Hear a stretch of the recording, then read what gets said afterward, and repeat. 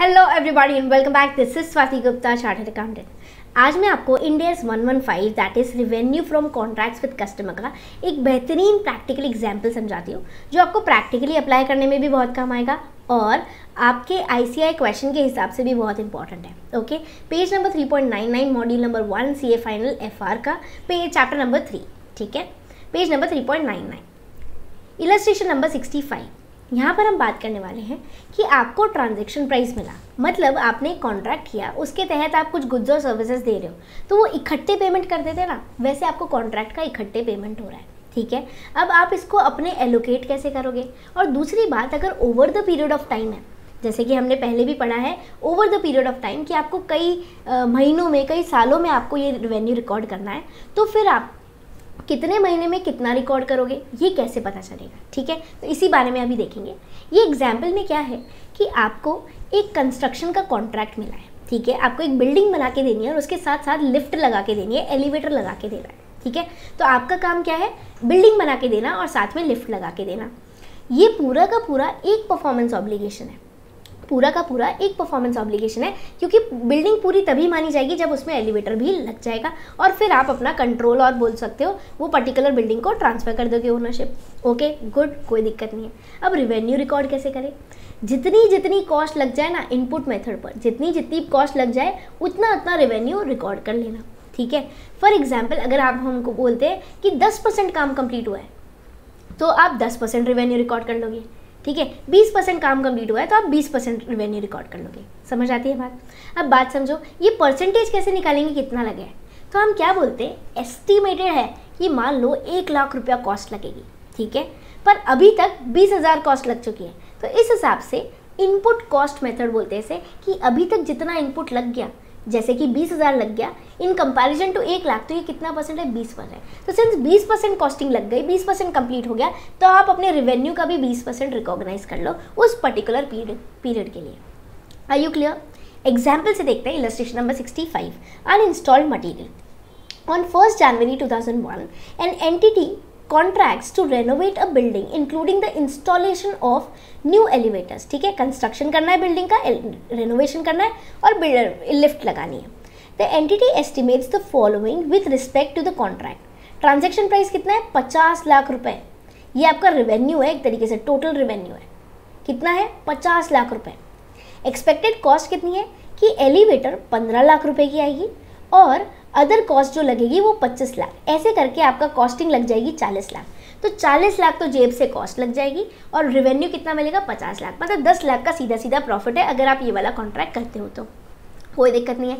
The entity purchase is the elevator अब company ना जो कंस्ट्रक्ट करके दे रही है, वो एलिवेटर को बनाती नहीं है, आगे से परचेज करती है और फिर ये वाली कॉन्ट्रैक्ट में इंस्टॉल कर देगी, ठीक है? तो परचेज करा इसने एलिवेटर या फिर लिफ्ट बोल सकते हो। And they are delivered to the site six months before they will be installed और उसको ट्रांसफ़र भी कंट्रोल कर देती है वो परचेज करने के बाद में। जैसे ही बिल्डिंग ऐसा है ना कि अब अगले छः महीने में कंप्लीट हो जाएगी तो लिफ्ट को उधर पहुँचा देती है। The entity uses input method based on cost क्या करती है? मतलब कि ये प्रोग्रेस मेजर कैसे करती है? अपने कॉस्ट के बेसिस पर इनपुट कॉस्ट के बेसिस पर, ठीक है? The entity has incurred other cost of five lakh मतलब थर्टी फ़र्स्ट मार्च 2001 तक इसने 25 लाख में से अदर कॉस्ट का 5 लाख रुपया ऑलरेडी इनकर कर लिया है। 25 लाख रुपए एस्टिमेटेड था। 31 मार्च तक इसने 5 लाख रुपए ऑलरेडी इनकर कर लिए। तो 5 लाख डिवाइडेड बाय 25 लाख कितना हुआ? मतलब अभी तक 20 परसेंट कॉस्ट लग चुकी है। 20 परसेंट कॉस्ट लग चुकी है। इसका मतलब 20 परसेंट आप रिवेन्यू भी रिकॉग्नाइज कर सकते हो। आ रही बात समझ? गुड जितना तसल्ली से, जितना ध्यान से, जितना प्यार से आप क्वेश्चन पढ़ोगे ना, उतना ही सिंपल आपको सॉल्यूशन लगेगा। अगर आपने जल्दीबाजी में पढ़ दिया ना तो आप घूम जाओगे, लगेगा, यार, क्या हो रहा है? क्यों हो रहा है? कैसे हो रहा है? ठीक है? तो अपने को बात समझ आई कि 50 लाख का रिवेन्यू है। ठीक है सर? अब इसमें एलिवेटर पे तो इन्होंने कोई काम किया नहीं है, सिर्फ़ और सिर्फ़ 15 लाख की खरीदी है। ठीक है? तो इन्होंने 15 लाख का परचेज किया है। ठीक है? परचेज किया है, जो कि डायरेक्टली एट्रीब्यूटेबल है एलिवेटर पर। कोई दिक्कत? तो ये एज इट इज़ कॉस्टिंग लग गई। अब सिंस ये खरीद चुके हैं तो ये हंड्रेड परसेंट कॉस्टिंग लग गई ना इसकी? कुछ बचा थोड़ी है? हंड्रेड परसेंट पैसा दे दिया, कुछ बोला इंस्टॉलमेंट में देंगे, बाद में देंगे, नहीं। तो सौ प्रतिशत पैसा लग गया। अब बचा हुआ फिफ्टी लाख में से जो थर्टी फाइव लाख है, ठीक है, ये अदर कॉस्ट को कवर करेगा। अब ये अदर कॉस्ट में से कितना? ट्वेंटी परसेंट लग चुका है। तो आप रिवेन्यू भी कितना रिकॉर्ड करोगे? ट्वेंटी परसेंट रिकॉर्ड करोगे, ठीक है? ट्वेंटी परसेंट इनकर्ड हो चुका है, ठीक है? तो आप अपना रेवेन्यू भी थर्टी फाइव लाख का ट्वेंटी परसेंट रिकॉर्ड करोगे। मतलब पंद्रह लाख रुपए तो पूरा हंड्रेड परसेंट और थर्टी फाइव लाख का ट्वेंटी परसेंट आप अपना रेवेन्यू रिकॉर्ड करोगे, ठीक है? अब ये दोनों एक ही परफॉर्मेंस ऑब्लिगेशन है क्योंकि पूरा काम कंप्लीट होगा, तभी जाके पूरे पचास लाख रुपए मिलेंगे, है ना? चलो सोल्यूशन देखते हैं। Cost to be incurred comprise to major components एक तो एलिवेटर्स लगाना है और कॉस्ट ऑफ़ कंस्ट्रक्शन करना है। पर सिंस ये पूरा का पूरा प्रोजेक्ट एक ही है एलिवेटर्स का पार्ट है तो ये कोई distinct not a distinct performance ऐसा नहीं है, ऐसा है कि यहाँ पर कि एलिवेटर या फिर आप बोलते हो जो लिफ्ट उससे अकेले बेनिफिट ले सकते हो? अकेले ही काम आ सकती है? नहीं। बिल्डिंग तो ज़रूरी है, उसके लिए ढांचा तो चाहिए। तो हमने बोला एलिवेटर सेपरेट नहीं है डिस्टिंक्ट नहीं है, अपने आप से अपने आप ऑन इट्स ओन बेनिफिट नहीं दे सकता।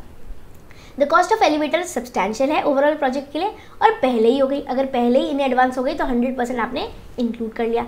Upon delivery at site customer acquires control of the elevator control भी ट्रांसफ़र हो गया मतलब over the period of time आप रिकॉर्ड कर सकते हो। Over the period of time में रिकॉर्ड करोगे तो मतलब थर्टी मार्च तक आपको कितना रिकॉर्ड करना है। And there is no modification done to the elevators, which the company only procures and delivers at site. Nevertheless, as part of material used in overall construction project, the company is a principal in the transaction with customer और for such elevator also. तो आपको input method के लिए वो दे रखी है guidance आप देखेंगे आपका 50 लाख क्या है?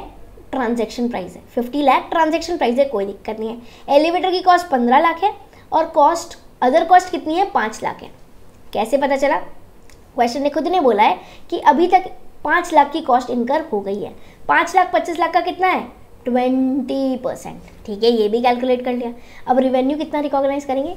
पंद्रह lakh plus thirty five lakh का twenty percent are you clear एक बार क्वेश्चन को देखो आंसर देखो, कोई डाउट हो तो मुझे ज़रूर से बताओ। ऐसे ही हम सारे एग्जाम्पल्स को क्लास में ही डिस्कस करते हैं। आप डिस्क्रिप्शन बॉक्स ज़रूर से चेकआउट करते हैं मिलते हैं अपने आगे की वीडियोस में। Till then take care be safe stay tuned